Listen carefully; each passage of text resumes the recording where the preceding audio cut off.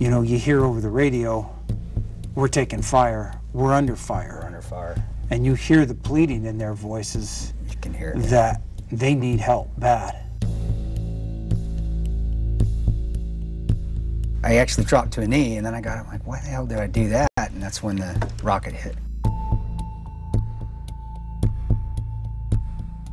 Rone had a machine gun and he started laying down hay.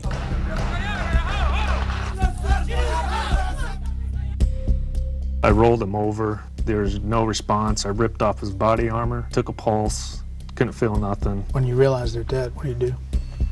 I just kind of said a prayer over each, both of them.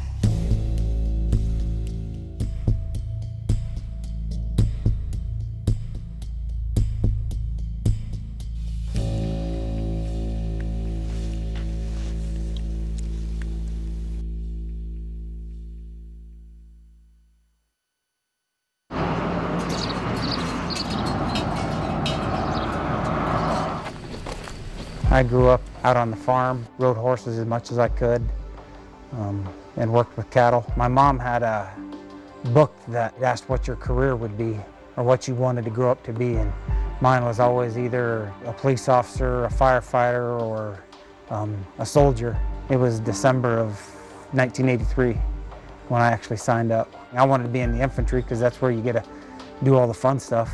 When I got out of the military, I started uh, working as a police officer. And then after that, I uh, picked up a job as chief of police in a small town and then moved on to contracting after that.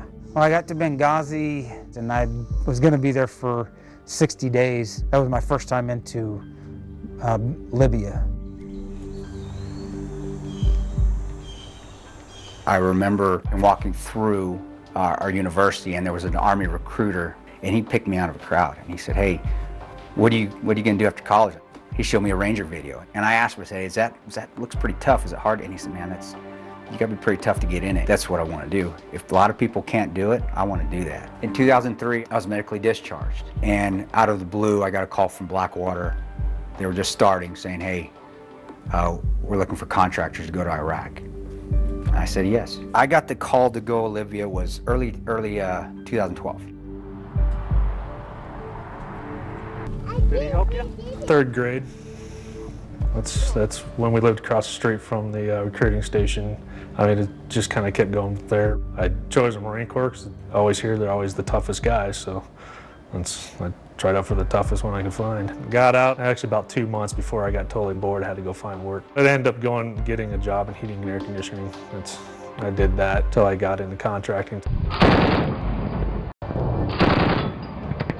The first time that I actually went there to uh, Libya, we uh, I went into Tripoli. That was my first trip. And the second time I went back, and the third time, the fourth time, they're all in Benghazi.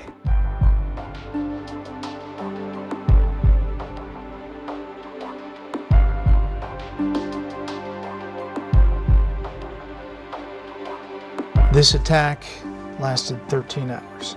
Uh, four people died, including our ambassador, and it was on 9 11. So I want you to take us back to the beginning. For people who don't know this job, you know, contractors, I mean, how do, how do you explain it to them?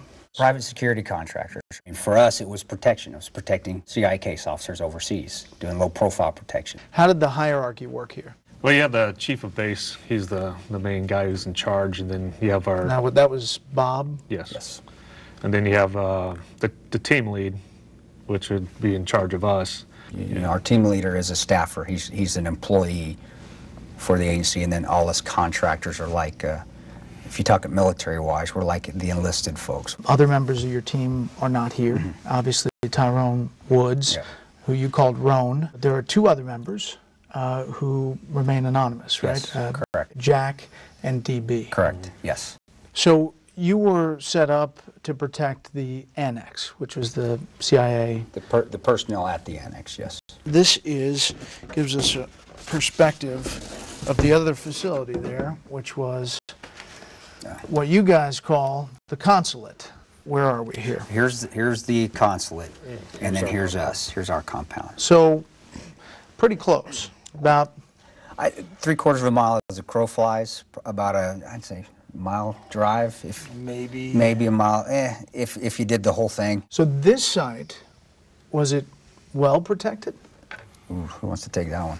No, it looked nice. It was a beautiful compound. I mean, it had um, orchards, It was had beautiful. a really nice uh. Had a nice house, swim- had a swimming had a nice pool. pool. They had their own security, They They were their own security. they were their own yeah. That's diplomatic the- security. The diplomatic security. They didn't yes. have a they didn't have like an American force like a Marine detachment. They they did it themselves. So what'd you tell them? Me and my bluntness, I said, you know, if you guys get attacked, you guys are going to die.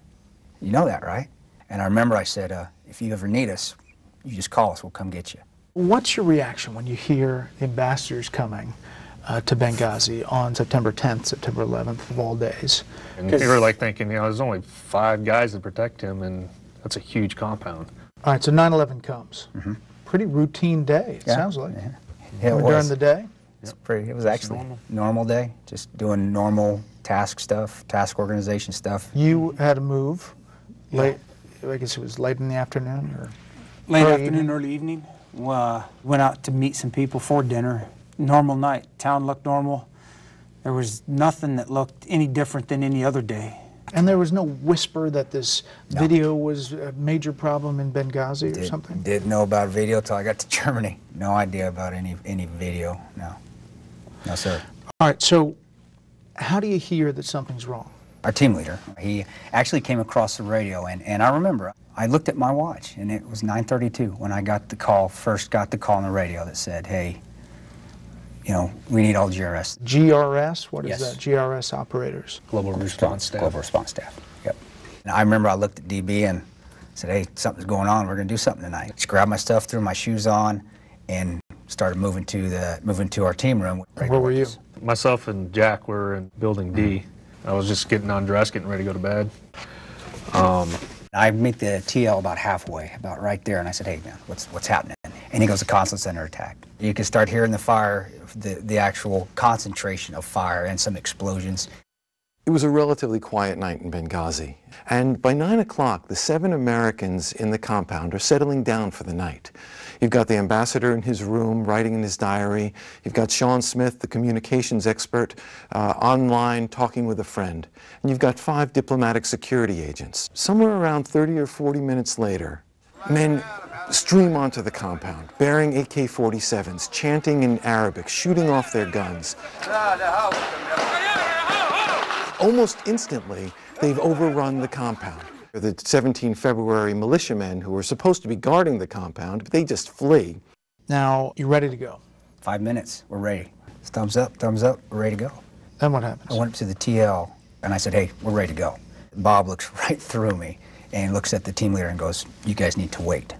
He's just on the, he's on the He's phone on the phone. talking to somebody. I assumed they were trying to coordinate us to link up with 17 February, Which is the local militia. which is the local militia. It had probably been 15 minutes, I think, and I got out of the car, and uh, Bob and uh, the team lead were standing on the front porch, and I just said, "Hey, you know, we got to, we need to get over there. We're losing the initiative, you know." And Bob just looked straight at me and said, "Stand down. You need to wait." We're starting to get calls from the State Department guys saying, "Hey, we're taking fire.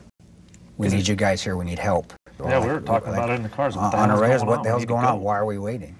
Ambassador Stevens and Sean Smith are forced to take refuge in a specially protected area, the safe haven inside the villa. With them is Scott Wickland, a security agent charged with protecting the ambassador. They hide behind a locked gate. Wickland waits in the shadows with a rifle, ready to shoot anyone who tries to enter. The attackers can't get in, but use nearby diesel fuel to set the villa on fire. From beginning